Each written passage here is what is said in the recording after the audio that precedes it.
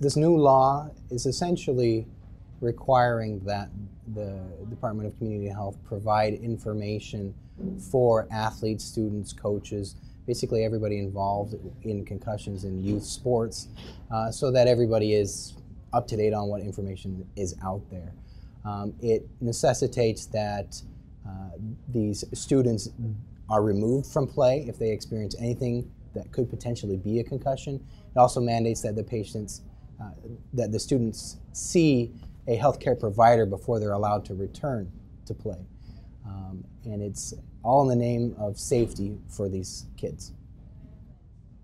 And I think the important point is that it's really raising the awareness of what a concussion is and the consequences of concussion, both short term and long term. And I think uh, more and more we're finding out more and more long term problems that can occur if an athlete isn't allowed to adequately recover uh, from a concussion.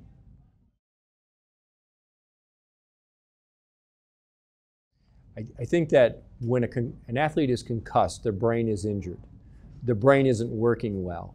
And we found a number of things can happen if that brain gets re-injured before it has a chance to recover. There's some short-term things that can happen. Their symptoms can get worse.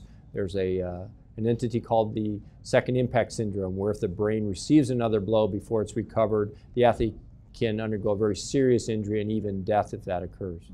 But I think more importantly, if that brain's not allowed to recover, those longer term consequences that can occur, learning difficulties, sleep difficulties, different behavioral things, uh, and even things that can occur very later in life. Uh, it's important because even with all the research that we have up to this point, we don't know everything there is to know about concussions.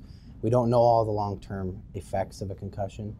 Uh, we don't know what the effect of cumulative small or minor blows to the head may cause. Uh, I think it's important that uh, these kids are uh, evaluated and, and treated uh, just again for, for the safety of the kids. These are these are kids. They're growing. They're developing. We don't want to have any long-term problems for them or cause any uh, long-term effects in a growing child.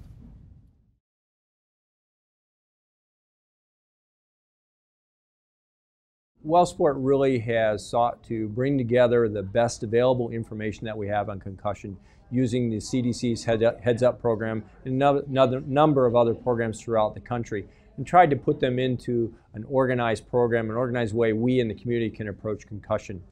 Uh, in Midland, we started a program last year where we do a standardized sideline concussion evaluation, which involves reviewing symptoms, putting the athlete through some maneuvers and some physical exam things on the sideline to help detail the exact nature of the injury. And then we can follow those details along as the athlete goes through the recovery period. That's involved community education in various uh, settings, talking with coaches, athletes, parents about the importance of concussion, and laying out a logical approach from the diagnosis of concussion to the medical follow-up concussion to an organized return to play where we actually put the athlete through a number of stages which gradually challenge the athlete both physically and mentally to know that they truly are recovered, that symptoms don't recur as they get challenged more and more. And if they complete that return to play, we at least feel that to, for our best available evidence that that athlete is ready to return to full competition.